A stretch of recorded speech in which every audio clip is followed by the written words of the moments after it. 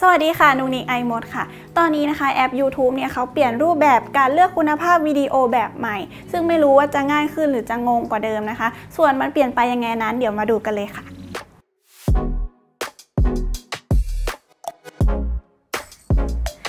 กดเข้ามาในแอป YouTube นะคะ แล้วเลือกชมวิดีโออันนึงเนี่ยคุณภาพของวิดีโอเนี่ยค่าเริ่มต้นมันจะเป็นแบบอัตโนมัตินะคะ หรือเป็นแบบที่เขาแนะนำให้เรานั่นเอง แต่ถ้าอยากเปลี่ยนความละเอียดของวิดีโอนะคะ ก็ให้แตะที่ 3 จุดด้านบนตรงนี้นะคะ แล้วก็แตะที่คุณภาพค่ะ ซึ่งในตอนนี้เนี่ยเขาจะมีให้เราเลือก 4 รูปแบบด้วยกันนะคะ อันแรกจะเป็นแบบอัตโนมัติค่ะ เป็นการเลือกคุณภาพวิดีโอที่เหมาะสมที่สุดที่แอปเขาแนะนำให้ตามเงื่อนไขความเร็วเน็ตของเรานั่นเองค่ะ ส่วนอันที่ 2 นะคะ จะเป็นคุณภาพรูปภาพสูงขึ้น แต่ว่าก็จะใช้อินเทอร์เน็ตของเรามากขึ้นด้วยค่ะ อันที่ 3 จะเป็นการประหยัดอินเทอร์เน็ตค่ะ ก็จะใช้คุณภาพต่ำลงมา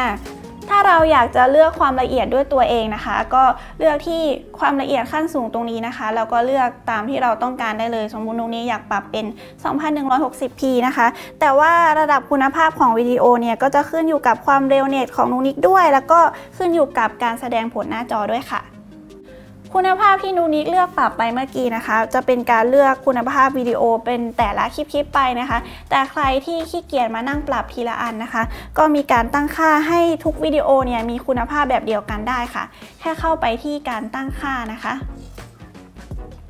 ตรงนี้จากนั้นนะคะเราก็จะเห็นคำว่า ค่ากำหนดคุณภาพวิดีโอตรงนี้นะคะ เราก็สามารถเลือกได้เลย อย่างเช่น คุณภาพวิดีโอบนเครือข่ายมือถือนะคะ สมมุติว่านุกนิกใช้เน็ตมือถือที่ไม่ค่อยแรงเท่าไหร่นุกนิกก็เลือกเป็นแนะนำส่วนคุณภาพวิดีโอบน Wi-Fi เนี่ย Wi-Fi ที่บ้านนุกนิกแรงเนาะนุกนิกก็จะปรับเป็นคุณภาพรูปภาพสูงขึ้นค่ะ